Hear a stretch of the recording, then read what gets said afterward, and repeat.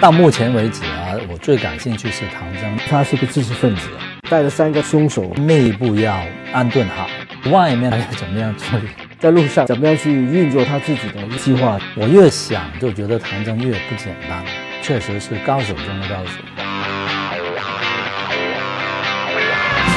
他特别逞强，然后特别爱面子的唐僧，没有那么帅的唐僧吧？很多女孩见到他，眼睛里都充满了爱慕的眼神，看到我的时候都没有。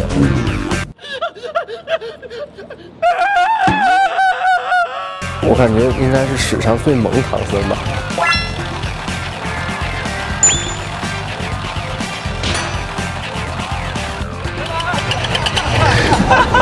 好了好，裤子都跑掉了。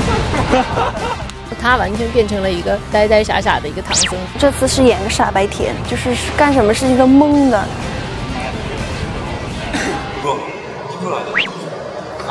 特别希望把他，把他，把他杀了。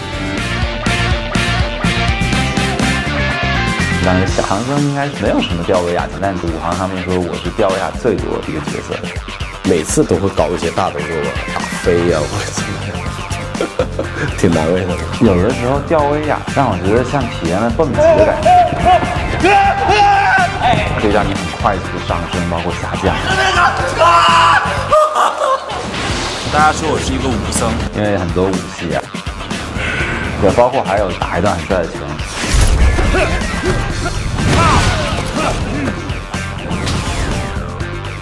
拍完这部戏之后，我就是一个武打明星。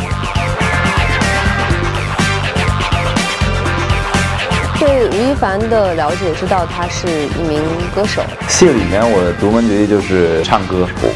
孩子，孩子，为何你那么坏？孙悟空一听我唱歌就开始跳舞。